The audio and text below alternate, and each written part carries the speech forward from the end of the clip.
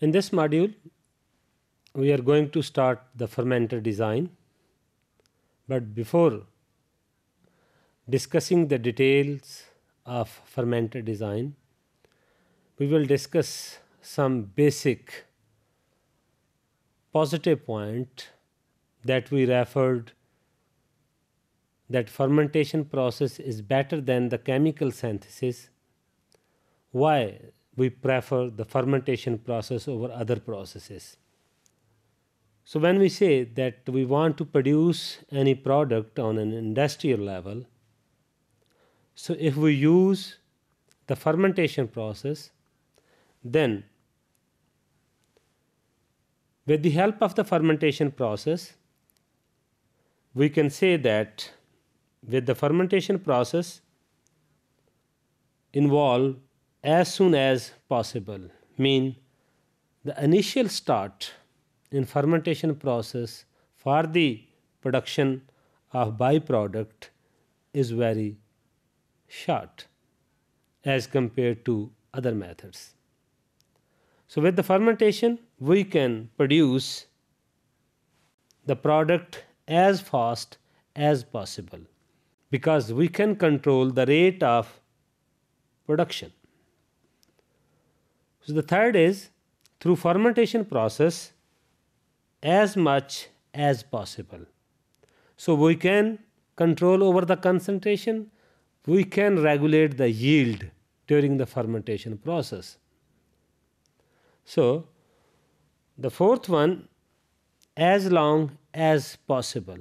So we can run the fermentation process for a long time. So the duration is not problem. The fifth, so as cheap as possible.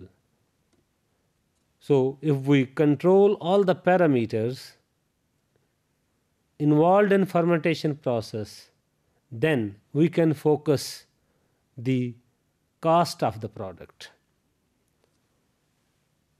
as simple as possible mean it is very easy to handle the fermentation process. And the last, as desirable as possible. So the regulatory issues are very simple and very easy to control.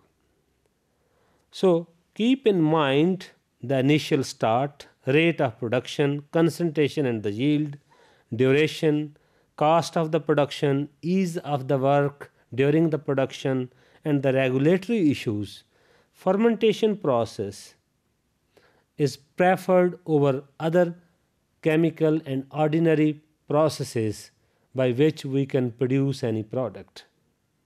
So, if we want to produce any byproduct, any bioproduct through fermentation process, so that whole come in a process design and control.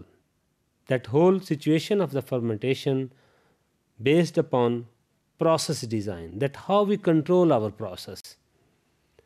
But the process design and the control further subdivided into that what kind of the fermentation types we are using means solid state fermentation, liquid fermentation means submerged fermentation and process design as we have already discussed that fed batch, batch are a continuous culture. But these types of fermentation and process design and the major is that the fermenter design that how we have our ferment design when we talk about the fermenter design Later we will discuss that what is the fermenter. Fermenter is basically the heart of the fermentation process. That is basically the stage to grow